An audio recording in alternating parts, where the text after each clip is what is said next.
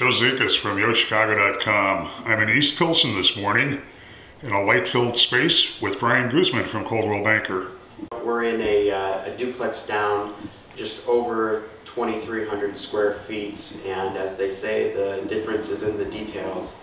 Wood burning fireplace, gas starter, you have a nice shaker style kitchen with a crown piece uh, on the top, a glass front corner cabinet. These are Orchard Hill cabinets, so not uh, standard.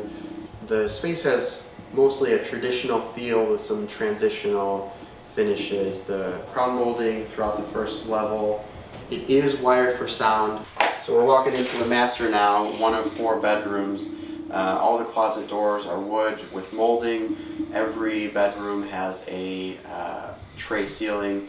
The master bath has dual sinks, stand-in shower with a built-in bench, a separate jacuzzi tub with a nice little pocket of glass blocks to bring in some light but also give you some privacy. We're downstairs in the uh, massive family room of this duplex. We are uh, open to below, so it's a two-story light well facing west.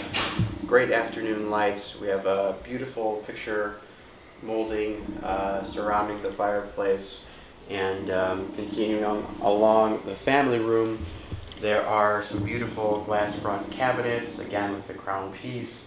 There is a beverage center and uh, a wet bar, and there is a massive amount of storage in this lower level. We have uh, two bedrooms on the lower level, both tray ceilings, another bathroom, and a laundry room.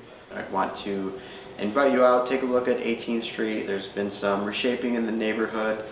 The iconic building, Thalia Hall, has been re-envisioned and Du Dusek's and Punch House are open as well as Modern Cooperative, Belly's, a couple of vintage stores you might want to check out. If you've been looking in South Loop, West Loop, University Village, I invite you to take a look at East Pilsen, a lot of things uh, going on, like we said on 18th Street. You're not going to get this for the price that we're listing it for in those areas, that's for certain.